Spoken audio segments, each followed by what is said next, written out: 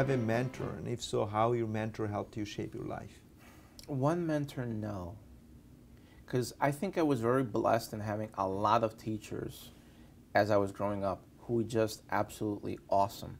I didn't, I didn't appreciate it when I was six and seven and eight years old. But now looking back, I realized that's what they were teaching and trying to instill in me. And I realized that I'm really blessed with a lot of mentors. From first grade on into college, I was just, I don't know, I was just blessed, I guess. I mean, these people along the way, all of them contributed to something, to my intellect, to my, my ability uh, as a human being today.